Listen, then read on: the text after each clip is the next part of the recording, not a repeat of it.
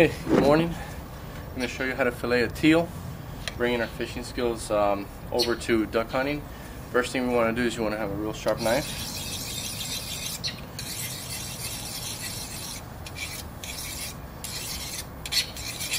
Okay, I always have a um, bucket of water here. I clean everything. And um, want to go ahead and find the breast section. Pluck some of these feathers out.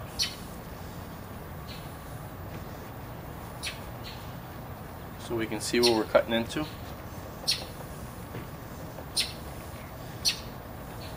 You don't have to wear gloves, sometimes I do, because it just makes cleanup a lot faster. and this is a beautiful uh, green wing teal that um, we got from the Everglades. And uh, we got in kind of tired, so I decided to go ahead and uh, put these on ice last night. And um, take care of them today.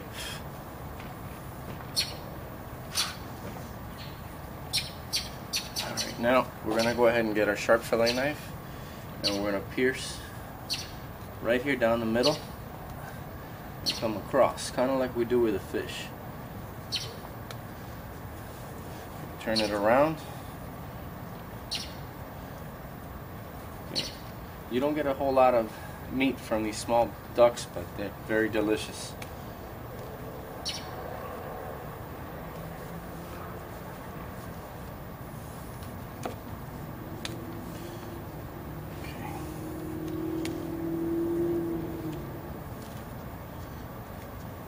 This is almost done.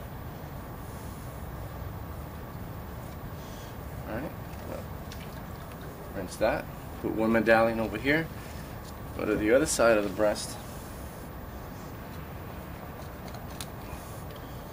Okay, just try to get all the way down as close as possible. and get as much as meat out as you can.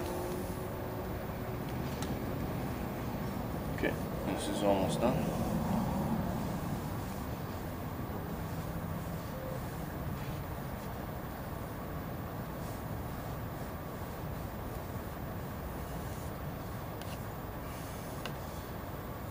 Alright.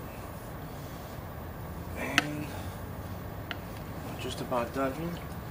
We got our two medallions. We're going to put this one in a bag. We can discard it.